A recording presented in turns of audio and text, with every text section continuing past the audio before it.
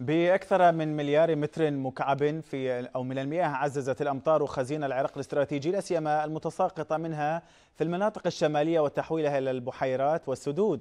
بما عززت الموارد المائية مياه الأهوار بعد تدفق كميات كبيرة من السيول في ميسان وواسط وديالة للاستفادة منها بأكبر قدر ممكن.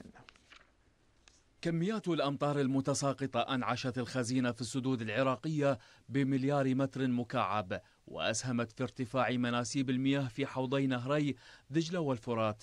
وزارة الموارد المائية حولت كميات كبيرة إلى بحيرتي الثرثار وحمرين فيما شهدت مناطق متفرقة من البلاد سيولا انعكست بشكل إيجابي على خفض كميات الإطلاقات من السدود.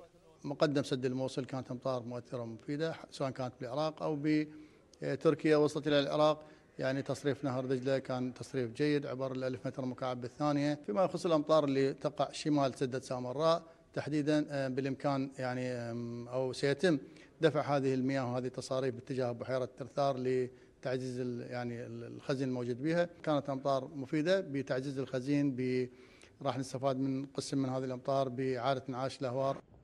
الحدود الشرقية مع إيران شهدت تدفق أكبر معدلات للسيول باتجاه محافظات واسط وميسان وديالة ليتم تحويلها إلى الأنهار الرئيسة والوديان.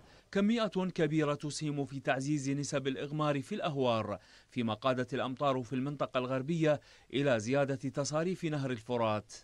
كان لسقوط الأمطار اليومين الماضيين أثره في ورود آه، كميات باتجاه مجاري الأنهر وأيضا ورود سيول من الجهة الشرقية للبلاد وأيضا من الجهة الغربية وهذه راح يكون هناك إجراءات لتسليكها ضمن المجاري وصولها إلى الأنهار في دجلة والفرات.